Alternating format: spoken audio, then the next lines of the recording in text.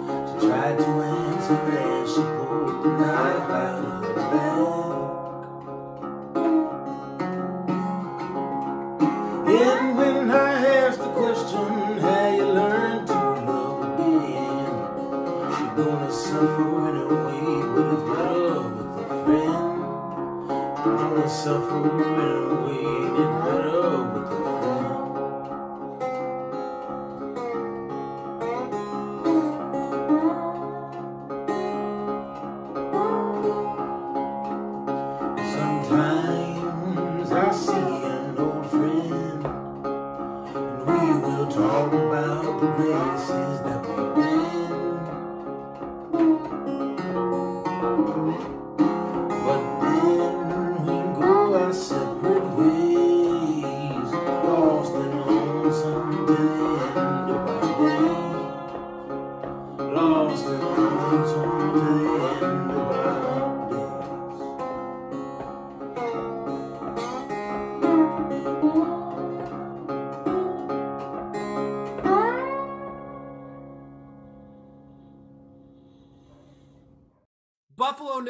what's up, man? Thank you so much for joining us. Hey, how's it going? I'm glad to be here. Can you tell me a little bit about uh, what we just heard? Yeah, that song is a song I wrote called Lost and Lonesome. It's a song I've been playing for a while. It was like when I made the decision that I was going to play like the blues, I guess. That was like the first thing that came and it seems people don't hate it, so I, I keep playing it. was it one of those things where it was labored over, or was it something that just like totally popped out and you're like, here it is, it's perfect in its original form? I don't think I labored over it because I don't actually remember writing it. so I think it just came pretty easily. It was just like one of those things, like messing around with slide, and you know, sometimes the melody just puts words in your head. One of those kind of things. Are you uh, lyrics lyrics at the same time, or do you just like come up with sounds that seem to fit and then kind of try to fit words to that, or how do you develop that part of it? I've tried them all, and they've both worked for me. But um, I would say most of the time, the music comes first. But I, I write lyrics all the time, but I'm never able to put them to music. Usually because I'm trying too hard, and it's like it doesn't doesn't sound good. I know exactly what you mean. Yeah. Well, I know that you have had a really busy past year. This past year has been crazy for everybody, but you've had a lot going on. You moved, you made a record. Tell me what's been going on over the past year. Yeah, I started the year with some really great um, opening slots that I'm just remembering now. It's been a long year. um, I was on the road for a few weeks with um, Robert Randolph oh yeah. the Drive By Truckers. So that's how I started the year, and that's how I I was driving back from the last gig with Drive By Truckers when I got the news that um, South by was canceled, and then I was like, okay, I think something's going on here, Yeah. and that was the last gig for a while. So did you immediately go into like huddle mode or were you like, man, what rubbing your hands together to try to figure out what was going on or how are you feeling? I was really nervous because I planned to spend like the rest of the year on the road. So I was like, all right, now I gotta like find a home to live in and like start doing my laundry regularly. Like I didn't think that was gonna happen. So after like a couple weeks of panic, I uh, just started writing again, and that was the all I could do really because there was nothing happening at all, especially in Milwaukee, in Wisconsin, everything was shut down. How did you guys deal with it when I'm I'm imagining in March of last year it was still pretty cold in Milwaukee. Yeah, it was cold and it was I think like March, April is the time when most Midwesterners are just like so excited to get outside because it's been like seven months of winter. Oh yeah, it's like 20 degrees and dudes are out there in shorts. I, I know exactly what you mean. Yeah.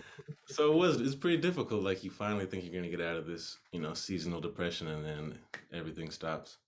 Yeah, that's a pretty big bummer. When did you decide to make the move from Milwaukee to Austin? Um, it wasn't really a, that much of a decision. It kind of just happened.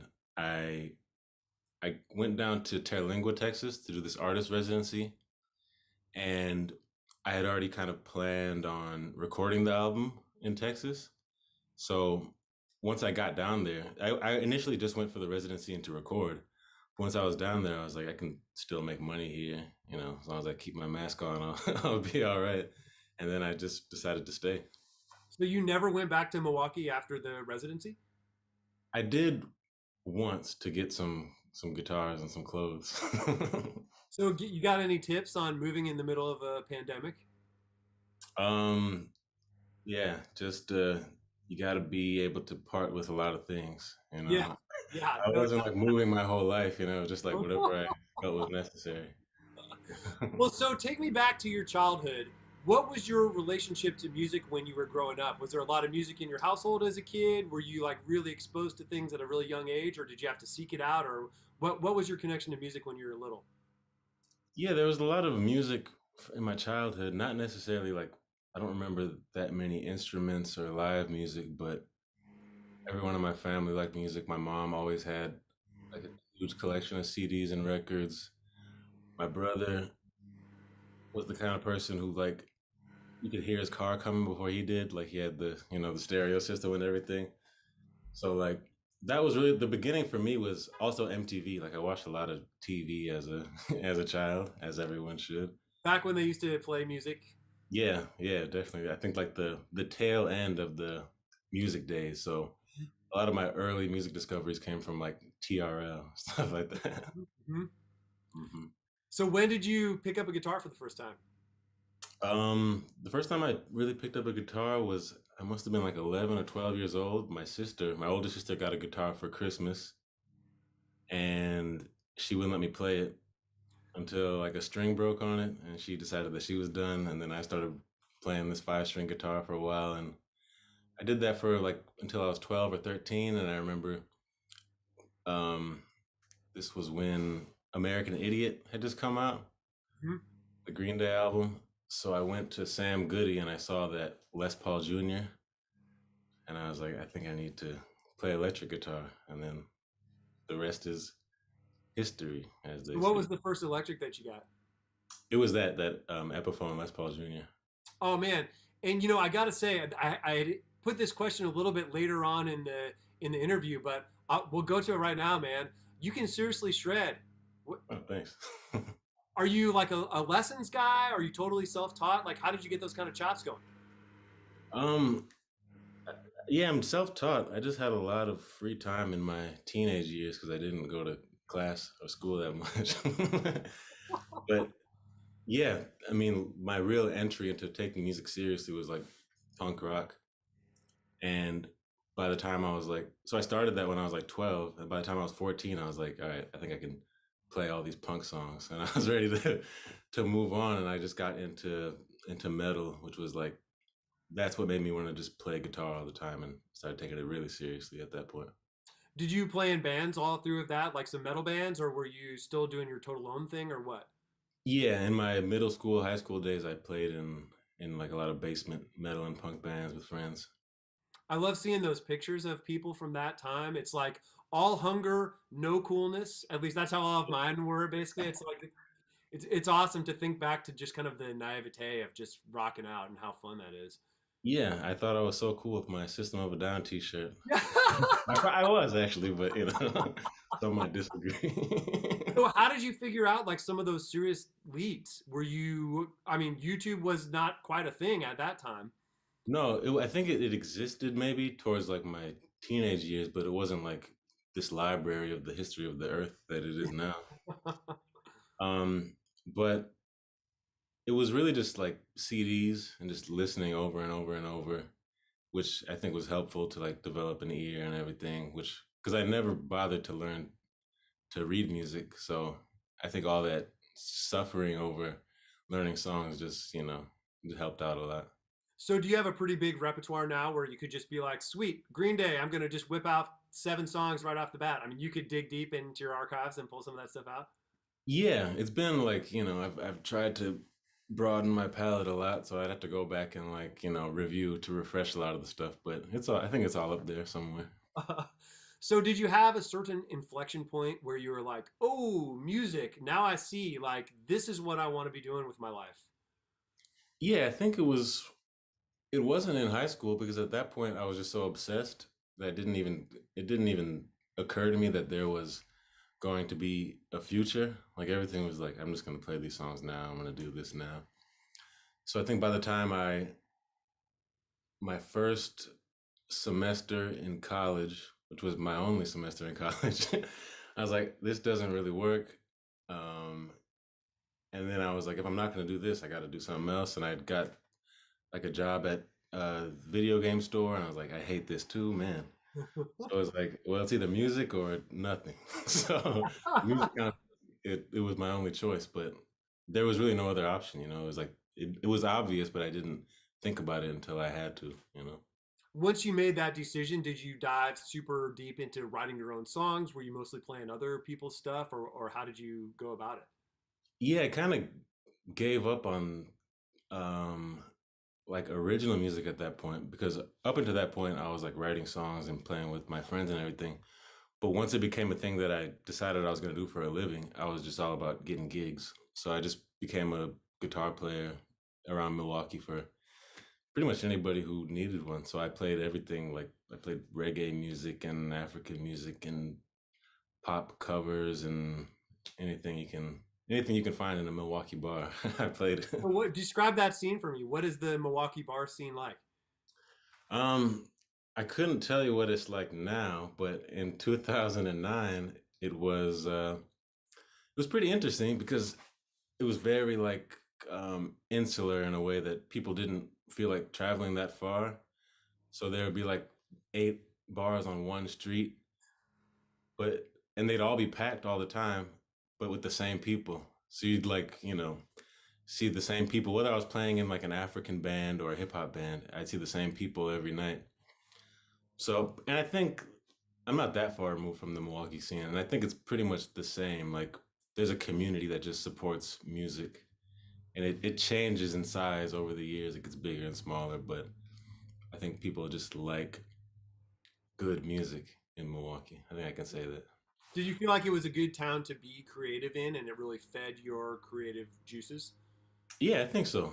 And I always say that like there was never any pressure. Like there was no expectations like I want, I need to play this kind of music to be cool or this to do this to get discovered. Like nobody was there's a lot of talent definitely, but nobody was like trying so hard that they're like going to be fake or phony, you know. Well, when did you kind of figure out that you were onto your own thing? You went from kind of all these different types of bands to then all of a sudden, not all of a sudden, but progressively, you made your way to blues and traditional music. I got to talk about your voice too, man. I mean, at some time you had to be like, "Whoa, this is a pretty awesome sounding instrument." Meaning your voice, it's so gravelly and cool. Like, when did you start to put those pieces together? Um, that was a a lot of different things coming together because basically from the time I started playing guitar till my mid twenties, I never I never really sang. I just played guitar, and it at some point I guess it was just kind of unfulfilling. So like when I was like 23, 24, I just quit music altogether and just tried to do other stuff in my life. And and then I realized the important like the important role that music actually played in my life and how like empty it felt without it. So I went back to it, but I didn't want to be, you know, playing these four hour gigs at bars and I was kind of over that. So that's when I started like writing and taking original music a lot more seriously. But singing is still something that I, I struggle with because people like, you know, compliment me on my voice and I appreciate that, but it's definitely been work, you know, a lot of uh, whiskey and cigarettes. I don't do that think there, man. No doubt about it. But I definitely had to work at it, you know, it wasn't like something that just was obvious or natural to me, you know. Was the transition to a more traditional blues type of thing something that also came naturally, or were you just like, hey, I can't help what comes out of me and this is just what it is? Um, it did come naturally, but I, I'd been playing like blues music since I started playing guitar. Like that was one of those things that I discovered in my in my mom's music collection.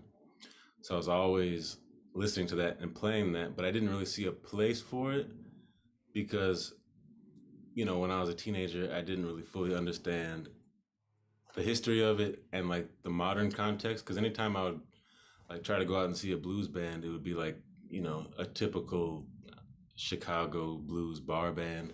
And I was like, I don't really like this. I don't like it at all. So I was like, I guess I'll just keep playing these, you know, Mississippi John Hurt songs by myself. I didn't see a place for it until I started getting really into like the folk music, blues music scene later on. When did you feel like other people were starting to pick up on what you were doing?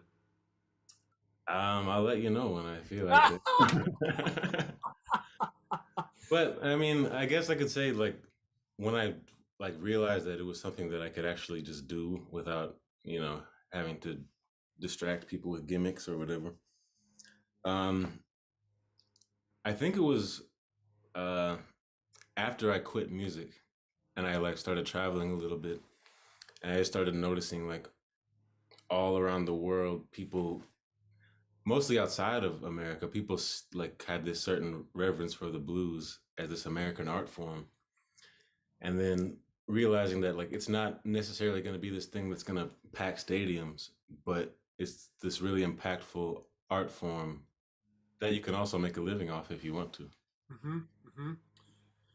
So you recorded a record while you were in Texas, but still living in Milwaukee. The record is done, but you've still been writing all of this time as well. Tell me a little bit about your process. yeah the process is uh drives me crazy but uh you know there's there's always the i guess the pressure to fit all of your mm-hmm. ideas into you know 30 45 minutes of music. So that's that's been my biggest difficulty is like obviously i can't do everything i'm capable of on one record. So i'm trying to like be patient and say this is going to be one record and then i'll have more where i can do other things. But i also just really like writing music. So that to me gives me more joy than anything. So for me, the process is just like constantly writing down ideas and you know taking out the phone, recording licks and stuff like that, and then um, usually it takes some sort of discipline, like somebody asking for music, or like for me to actually put that together into songs, you know, because otherwise just like notebooks and 10 year old voice memos. so my, it's kind of chaotic, my process. So do you do you have an idea or an inclination of when something is done, or is it just basically like the deadline, and you're like, as good as I can get it by the time that deadline is here, then I'm good, you know? Yeah, I've been making a conscious effort to be less precious with stuff because I used to be the kind of person who would like just I would record entire albums and just never let anyone hear it. I'd be like, no, it's not ready, it's not done. But now it's almost become a problem where I just like don't care. I'm like, yeah, it's not perfect, but neither are you. so go ahead, take it. well, that is the perfect time, I think, to hear another song. Can you tell us a little bit about the one that we're about to hear? Yeah, this song is called How to Love, and this was another one of those things where I'm trying not to be too precious. It was just an exercise in like taking the blues as a musical form and trying to make the lyrics a little bit slightly more mature than you know what people might be used to, but not that much.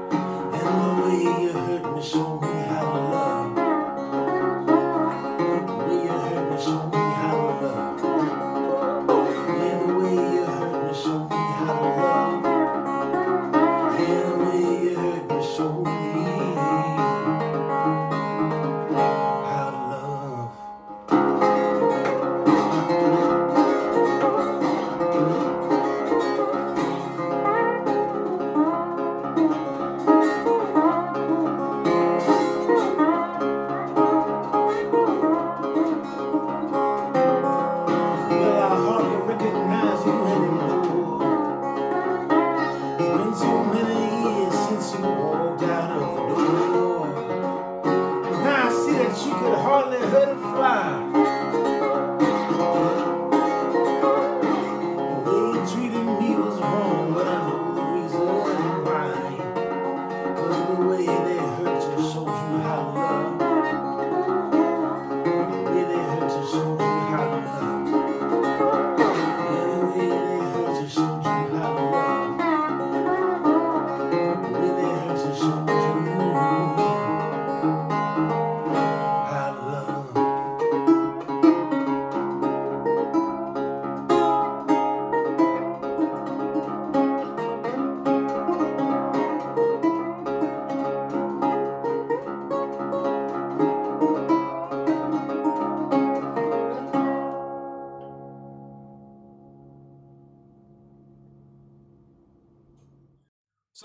Go back to the creative process one more time.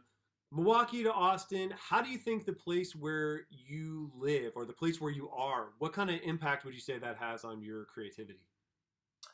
It's not a significant one because I I think a lot of my ideas come from not necessarily they don't come from my environment. So it's rare that I'll write a song that's a direct reaction to something that I've seen. A lot of things are just more about how I perceive things rather than the things themselves, if that if that makes sense. Yeah. And I don't leave my house all that much. So that hasn't changed. Are you the main character or is there are you talking about some generalized person sometimes or are you writing only from experience or what? um I try that's one thing I make a conscious effort is to make sure all of that is uh unclear to the listener. Mhm. Sometimes it's personal experience, sometimes sometimes it's first person but it's about someone else. Sometimes I'm telling my own stories through the a different character. So I just try to make it sometimes I feel like I need to say this is from me to you, but sometimes I need to put some distance. Yeah. Do you feel some of those more personal songs as you're performing them, it's difficult to go back to those emotional places? Yeah, it's really difficult because I'm still, you know, at a place in my career where most of the time I'm playing to people who don't know who I am. So if I'm like trying to bring up these emotions to give a convincing performance and I'm being like ignored, I get I get angry. My real emotions, people, come on. yeah, pay attention to me, please. So thinking back from the punk days to now, what would you say is like the through line of your creativity that's been a constant throughout all of it? Well, I guess if you put it in those terms, I think the real through line is like a certain kind of uh just like frustration. I think that's probably my biggest motivator. That's why I was into punk and metal. It was just like, you know, at the time my simple brain was like, yes, this is the music for angry, sexually frustrated young men. This is what and that hasn't changed that much, but I found it's totally right, totally right. So you're still angry. Yeah, I'm. I mean, I'm not an angry person, but I think when I sit down and I need to express myself, usually the first thing that I need to get out of the way is the anger before I can get to anything else. So I and and you know, anger can can come out in a lot of different ways, but any kind of anytime I hear music that has like real passion to it, I feel like a connection to it, and I try to interpret or like incorporate it. So give me some examples of what you're talking about. Something that might be outside of your zone that really has influenced you to kind of find that passion in your own situation. Sure. Well, um, I think like I'm not really a huge, I'm not much of a jazz player, but when I listen to a lot of jazz, especially like bebop stuff, you can hear this like you can hear the emotion in the in the instruments. Mhm. And I think whenever I'm making music, I'm like thinking about regardless of genre, I think about these musicians who have been able to put their feelings, you know, truth truthfully into into the music. I feel like for a lot of that stuff, I'm generalizing, of course, but for a lot of that bebop type of stuff, it's so melodic and sweet sounding, but underneath it, there's like a, I don't know, it, it, there's like a, a pain or an angst or like a mournfulness kind of in some ways, I feel. Yeah. Slide, I think, also has kind of that same type of vibe. I don't know. Do you feel that as well? Yeah, I've always felt like I, that's kind of the reason why I gravitated to slide is that you can put so much more emotion into it. You know, you can be a little bit sharp or a little bit flat. And then in a way that's like if you're a little bit sharp and flat in a chord, it's going to sound out of tune. But you can use that a lot more, I think, a lot more emotionally, emotively on slide. Man. When you're playing, do you feel like you go to that consciously or you're just like, dude, it's happening. I can't, I can't even control it. This is what I'm feeling. That's how I feel lately. Like I can't control it, but that you know it wasn't natural because like learning slide, it takes a little bit of time to get comfortable on it. But once you do, once you find like a place that works for you, then it's like it's like a you know second language. Well, I know that you play in a lot of different tunings. So tell me about your live setup. What do you what do you bring it with you? Like, do you have a lot of different instruments? What describe describe to me your live situation? Yeah, if I can get away with it, I like to have an acoustic, uh, like a dreadnought usually, um, a banjo, and then usually a couple resonators or something with open tunings that I'll use. Um, because I when I play slide, I like to have as heavy strings as I can get away with. So that means I gotta stay away from standard tuning. hmm hmm But sometimes I'll take a standard tune and I'll tune it down and uh, it'll be all floppy and weird, but you know, sometimes it works. So, are you uh, tuning, re- tuning and retuning live? I assume you must be to a certain degree. Yeah, I feel like I've gotten pretty good at it, you know, and I, you know, I've become one of those people who can talk and tune at the same time. So anxiety inducing, I feel, to just stand up there, and particularly in those alternate tunings. It's very I, I, that would give me some serious stage fright. I would Oh, it does, yeah. I always warn the audience because I, I haven't broken a string in probably like on stage in probably like 10 years. You know, it's probably gonna happen tomorrow now.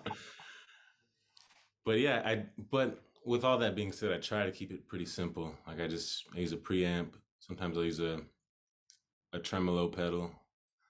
But you know, b- because of how much I'm changing tunings and I have to keep in mind which tuning I'm in, I try not to have to do too much tap dancing. so, know. what's your pedal situation right now? Right now I've got a the Grace Felix preamp because I like to I like the acoustic sound. I try to use a mic whenever I can.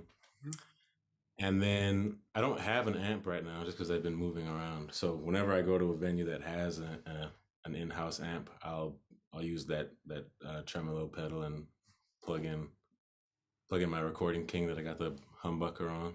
Yeah, so we talked about that a little bit before the show. I'd love to hear a little bit more about that. So I sent you an instrument. The pickup wasn't quite doing it for you, so instead you flipped that out with a more humbuckery style. Tell me about that really quickly and how you got it mounted and what it sounds like. Yeah, I just I had one of those uh, slimline humbuckers laying around, and I'm a little bit reckless but careful when it comes to my instruments. So I just drilled a hole in it and I put it in and I prayed and it it worked. But it sounds great. Like when I use a mic and the humbucker, I get that great like you know. To me, it's like a Lightnin' Hopkins sound when he has that. You hear the mic and you hear the pickup, and So it's got like it. a little bit of grit hidden in the background, kind of. yeah, that's right. Yeah. Yeah, I love that, man. That's awesome. So you have been playing. What has that been like? What have the shows been like? Is it weird? Is it super awkward to uh it- obviously you're not wearing a mask. Are the people who are in the audience wearing masks? Yeah, it's been all across the board. Sometimes I'm like playing at a restaurant and I'm like, I don't think I should be here, but I'm I'm here anyway. And those seem a little bit reckless, but um I've played a few like uh, indoor limited capacity shows, which have been I it seems like people, especially earlier on, everybody was just so excited to see music that they were willing to to play by the rules and everybody stayed away from me, which I try to make sure people do normally anyway. but yeah, be- that's you know what brought me to Texas is the the laxness of of it all, which I wasn't happy about, but you know I'm very grateful that I've been able to you know keep playing and make a living. What do you think? Uh, as as- it seems like things are starting to open up, at least from what I can see here in Nashville. I, I'm sure that's probably true in Texas. What do you see, and what do you have planned for over the next couple of months? Yeah, um, things are slowly, indoor stuff is happening, real venues are opening, so very soon I'll be playing to people who aren't eating dinner, which I'm looking forward to. Um, and then, yeah, getting back on the road is definitely my goal. I've been seeing all the tour date announcements on Instagram, so I'm getting very anxious. So I'm sure that's in the in the near future for me. Yeah, that's great. There's nothing you can say now, I would imagine, but you probably got some some pretty sweet stuff booked. I would imagine coming up. There's some stuff in the works, yeah, yeah. That's awesome, man. Well, let me switch channels on you. We have a section of a lightning round. It's called the two by four section. So, four questions, two answers to each question. They're super simple. First thing that comes to your mind is the best answer. You ready for the first one? Yeah, yeah, yeah. All yeah. right, here we go. Two favorite things about Austin in 2021 specifically. the weather and the social distancing. you're you're you're really a solo man, huh? Yeah, I I I've come to accept that. That's, You know, that's, that's when you were talking before, I was thinking like, at some point, do you feel like your music would be great with a band, or are you content to totally just ride it out solo, or what's your vibe on that? Yeah, I like playing with a band, and I, I definitely will do more of that in the future. Do you have some people in mind that you would want to work with, or uh, it's still totally up in the air? It, I've got some people in mind, but yeah, I got people in mind, but uh, it's also up in the air, you know, depending on what my music sounds like. Yep, yep, yep. All right, next question. Two non-music gig essentials. Non-music gig essentials. All right. Um, I always got to bring my own honey for my voice, hmm hmm and um, wow, I'm trying to be quick. I'm just thinking. Ah, it doesn't have to be quick. it has to be real. um, I would say the other one. Mm, you know, it's it's uh Tums or some kind of antacid because I have a tendency to stuff my face before I gig and I'm burping in the mic. you can eat before you play. no, I can't, but I do it anyway. So tell me about the honey thing. What's the? How do you administer it? I just pour it down my throat, And or I put it in some hot water or whatever. That's awesome. All right, next question. Two favorite things to do outside of music. I like reading and um taking care of my plants. That's Taking care of my plants. How many plants do you have? uh, more than I care to say. Do you always have a green thumb, or or uh, no, this has been a pandemic problem that I've picked up. nice? Are you starting to grow anything that you can eat, like herbs or anything like that? No, I've been thinking about that, but then I realized eventually I'm going to go back on the road, so I don't want to. I don't want to like try to be self-sustaining or anything. It's crazy. Well, let me touch on the books for a second. What kind of stuff is your go-to when you're picking up something to read? um, really anything. Lately, I've been into science fiction a lot. I just read the uh, Hitchhiker's Guide to the Galaxy, whatever it's called, for the first time. Classic, classic. That's been a good one. I like short stories and poetry, and you know, I'm not really hooked up or like um that into the the style or the genre of the author. I'll give anything a chance, and if I want to read after the first chapter, I'll I'll just keep going. I think like short stories are to me the ultimate form of literature. You have to like be as poetic as if you're writing poetry, but you still have to deliver a full story in that time. I find that stuff so awesome. Are you you obviously I'm sure are hip to Ray Bradbury. He's one of my all-time favorites. Yeah, yeah, And definitely. short stories Mhm. as well. Yeah. All right, one more. Last question. Best two songs to check out for somebody who's interested in learning slide. Okay, let's see. You know, the best two songs to learn for someone. I don't know. I don't think there are there. That's an that's an unanswerable question. well, if you were trying to pick up slide and you didn't know what you know now, where would you go to figure out how to get into it? I think. I mean, the reason why that's such a hard question to answer is that everybody's going to have their own way into it. So, I think, like for me, the the, the thing that got me really into slide was, uh, like I guess transcribing or whatever, like learning other songs on slide just familiar familiarizing your own ear with stuff. And um because i think it can be really intimidating like if you listen if the first slide you hear is like derek trucks or something you're gonna be like nah, no that's not for me You so know, i just think like you say that. falling in love with the sound is the important thing you know Yeah, yeah, yeah, yeah. So, who are some of the artists that you would recommend for somebody who's in, not Derek Trucks, obviously, who is Sure. awesome? hmm i think blind willie johnson is great and it's like deceptively simple it can be really hard to like pull off the stuff that he did on record but i think it gives you a great idea of like what is possible and furry lewis i think was i, I guess uh, any like any furry lewis song i think that would be the answer because it's very simple and very like he uses it in the way that I love, which is like almost like a background singer or something. Like it's very vocal in the way that he plays, and it's simple enough that you could you know pick it up from listening to it. Is all of that stuff in open tunings as well? Yeah, I think most Furry Lewis stuff is is open D or open G stuff like that. Dude, open tunings, slide, amazing, amazing. Well, I want to hear one more song if we can. Anything that people should be aware of that you've got coming down the pipeline? The record is recorded. Hopefully, it will come out sometime in 2021. I'm yes. Hopefully, it'll be out this year. Um, and I think if you'll probably hear about it if you if I haven't offended you in this, this interview. Yeah, it, um, once that happens, I'll probably be all over the place, and you'll be able to see me in real life somewhere. And I'm not as uh, standoffish as I appear. What's that? I said I'm not as standoffish as I as I appear. I'm, oh, dude, dude, whatever, man. Where I feel like I know you really well now, for sure. cool. well, thanks so much for taking the time to be with us here. I would love to hear one more song. Can you set it up for us? Yeah, this is a Skip James tune. Um, not traditionally done on slide, but like I said, one of those things. If, if a song feels good, just try it on slide, and it's a dark, sad song, and and I love it.